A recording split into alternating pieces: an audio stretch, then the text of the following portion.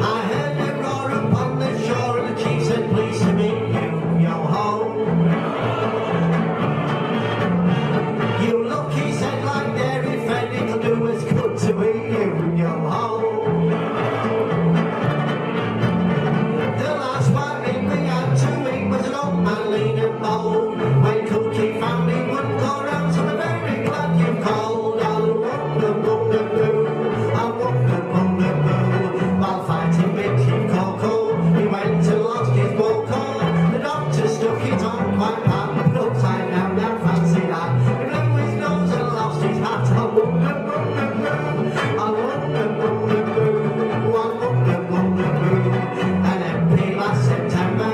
Got something to remember. A lion tears him down the street and bit him during his retreat. That's how we knew.